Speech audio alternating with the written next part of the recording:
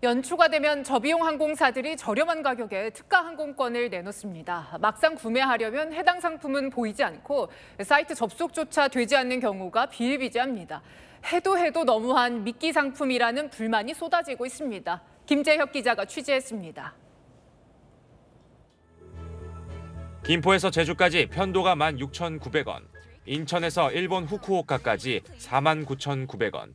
국내 저비용 항공사들이 연초 앞다퉈 최대 90% 할인된 특가 항공권을 내놨습니다.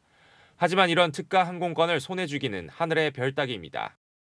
사이트에서 튕기는 것도 되게 다반사고 들어가도 결국엔 다 매진되어 있어서 많은 대기들이 일단 걸려 있고 뭐 5분 전에 PC방이라던가 핸드폰으로 대기를 하더라도 아무래도 안 되는 경험이 좀 많은 것 같아요. 오늘 한 항공사가 오전 10시, 오후 2시 두 번에 걸쳐 특가 항공권을 판매했는데 표를 구하는 데 실패했습니다.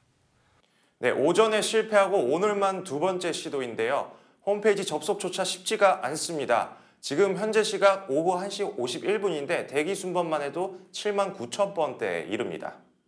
항공사의 낚시 마케팅에 소비자들은 분통을 터뜨립니다. 프로모션 할 때마다 달력에 기록을 하고 그 시간마다 접속을 해서 상품을 확인을 하려고 하는데 확인을 할 수가 없고 좀 의구심이 드는 게 사실인 것 같아요. 구매가 어려운 이유는 특가 티켓 좌석 수가 제한적이기 때문입니다.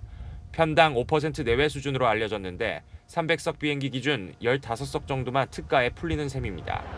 구매도 어렵지만 이런 특가 항공권은 비수기나 선호되지 않는 시간대인 경우가 대부분입니다.